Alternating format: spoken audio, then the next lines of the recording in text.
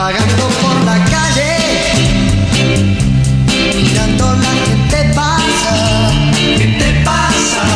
El extraño del pelo largo, sin preocupación en el bar. El fuego en su mirada.